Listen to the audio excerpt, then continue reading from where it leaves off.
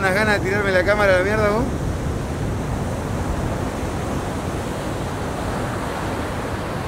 ¿No, tío?